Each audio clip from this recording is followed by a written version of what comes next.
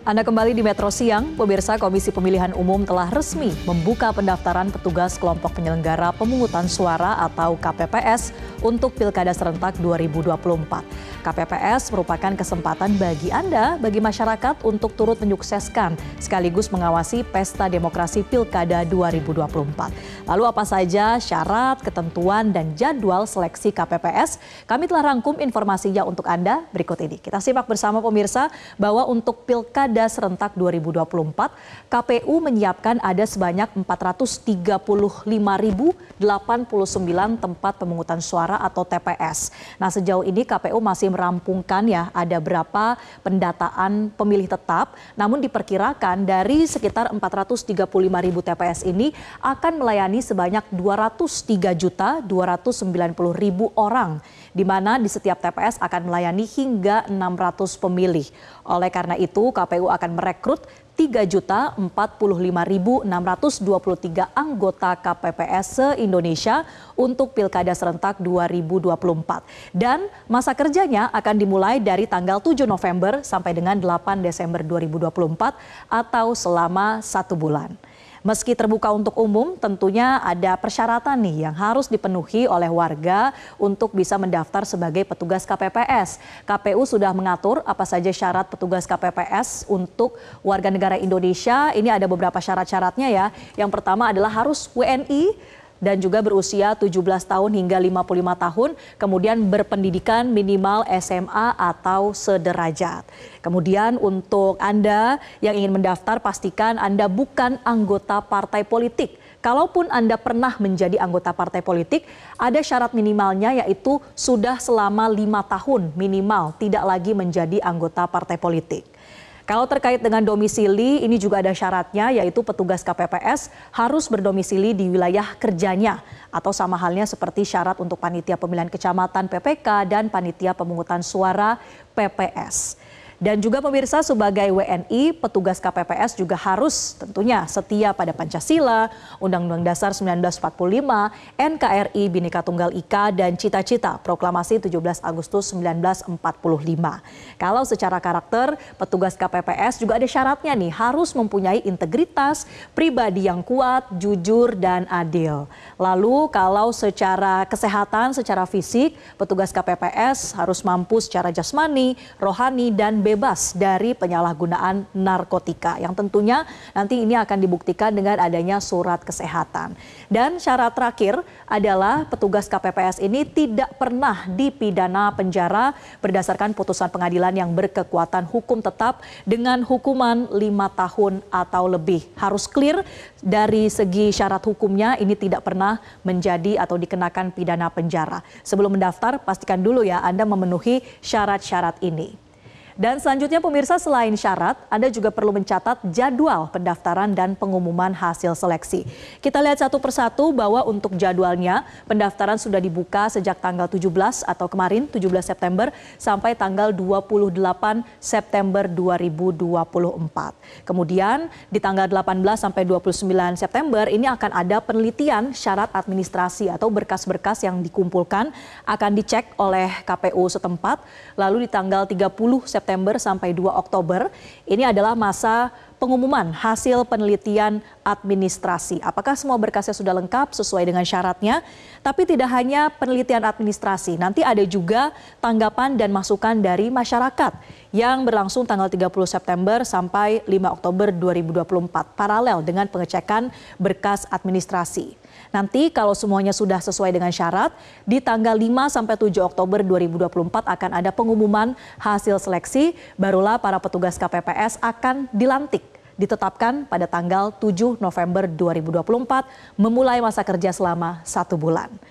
Dan kira-kira apa ya tugas dari KPPS? Apakah Anda mampu untuk mengemban tugas-tugas ini? Kita lihat satu-satu pemirsa. Yang pertama tentunya bertugas secara teknis ini akan mengumumkan DPT atau daftar pemilih tetap dan daftar pasangan calon di TPS. Ini biasanya yang ditempel uh, seperti di papan pengumuman di setiap tempat pemungutan suara. Itu menjadi salah satu tugas KPPS. Kemudian KPPS juga bertugas menyerahkan DPT kepada para saksi peserta pilkada dan PPL lalu bertugas melaksanakan pemungutan dan penghitungan suara di TPS. Jadi tugasnya memang sangat teknis untuk bisa mengatur alur, memberikan arahan bagi para pemilih yang datang ke TPS misalnya. Dan selain itu juga bertugas untuk mengumumkan hasil penghitungan suara di TPS. Bukan hanya empat, tapi kita lihat di slide berikutnya ada lagi tugas untuk KPPS. Ini dia pemirsa menindaklanjuti temuan dan laporan pada hari pemungutan dan penghitungan suara. Artinya harus terus bersiaga di hari pemungutan suara jika ada keluhan-keluhan yang ditemukan. Selain itu, tugas KPPS juga harus menjaga dan mengamankan keutuhan kotak suara beserta isinya. Isinya ini ada uh, surat suara, kemudian juga ada berita acara, bahkan sampai laporan-laporan ini semuanya dipastikan harus tersegel dan aman sehingga bebas dari adanya potensi-potensi uh, kecurangan. Lalu tugas lainnya adalah menyerahkan kotak suara yang ter tersegel berisi surat suara, berita acara, dan lampiran kepada PPK melalui PPS. Dan terakhir ini juga membuat salinan berita acara, sertifikat penghitungan suara, dan juga rincian perolehan suara sah, lalu menyerahkannya kepada saksi, PPL dan PPK melalui PPS. Ini adalah tugas-tugas yang nanti tentunya akan di brief lagi, akan diberikan arahan lagi bagi para petugas KPPS yang nantinya terpilih. Nah, ini adalah informasi yang juga ditunggu-tunggu pemirsa. Kira-kira berapa besaran gaji atau honor bagi petugas KPPS? Untuk ketua KPPS honornya adalah Rp900.000 per satu bulan masa kerja. Kemudian untuk anggota KPPS honornya Rp850.000 dan bagi petugas pengamanan TPS atau Satlinmas sebesar Rp650.000. Kalau Anda bandingkan begitu ya dengan pemilu serentak uh, pada bulan Februari kemarin ini memang ada perbedaan atau ada penurunan nominal honornya yang mana di pemilu serentak kemarin honornya adalah 1,1 sampai dengan 1,2 juta rupiah. Alasan dari KPU mengapa kemudian honor untuk KPPS Pilkada ini diturunkan karena secara beban kerja ini tugas KPPS lebih sedikit dibandingkan dengan petugas KPPS pada pemilu Februari kemarin. Kalau di Februari ada lima kotak suara, sementara untuk pilkada hanya akan ada dua kotak suara yaitu untuk pilgub dan juga pemilihan bupati atau wali kota. Sehingga dinilai angka ini sudah uh, cukup beralasan sebagai honor bagi petugas KPPS. Sekarang bagaimana cara Anda mendaftar sebagai petugas KPPS? Anda bisa langsung datang ke tempat pendaftaran yang berlokasi di masing-masing kantor sekretariat PPS kelurahan. Jadi adanya di tingkat kelurahan ya pemirsa. Kemudian berkas-berkas yang dibutuhkan ini adalah pertama surat pendaftaran, fotokopi EKTP, fotokopi ijazah SMA atau sederajat atau ijazah terakhir, lalu ada daftar riwayat hidup dan pas foto berwarna ukuran 4 kali 6 sebanyak satu lembar.